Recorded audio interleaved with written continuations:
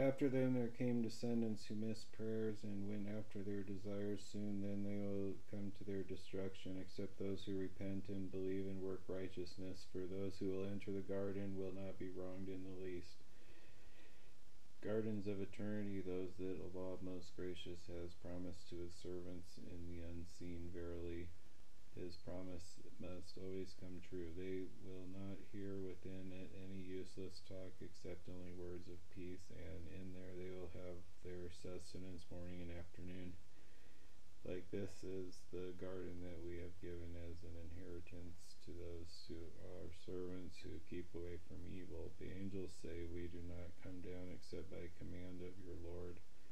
To him belongs what is before us and what is behind us and what is between, and your Lord is never forgetful. Lord of the heavens and the earth, and Lord of all that is in between them, so worship him and be regular and patient in his worship. Do you know of anyone who is similar to him, worthy of the same name as he? And man says, What when I am dead, then I shall be raised up alive? But does not man remember that we created him even while?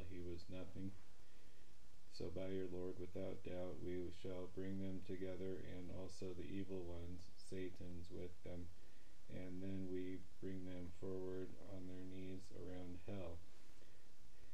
Then indeed we shall pull out from every sect all those who were worst in strongest rebellion against the law of the most gracious. Then certainly we know well those who are most worthy of being burned in there. And there is not one of you who will not go over it, the fire. That is the decree of your Lord, which must be completed. Then we shall save those who kept away from evil, and we shall leave the wrongdoers in there, pulled down on their knees. And when our clear signs are read to them, the disbelievers say to those who believe, Which of the two sides is better in position, which makes the better show in public? and how many countless generations have we destroyed before them, those who are better in wealth and look brighter to the eye? Say, if any man go towards wrong, Allah the most gracious extends the rope to them until when they see the warning of Allah being completed either as punishment or as the coming of the final hour. At the end, they will see who is worse in position and who is weaker in forces.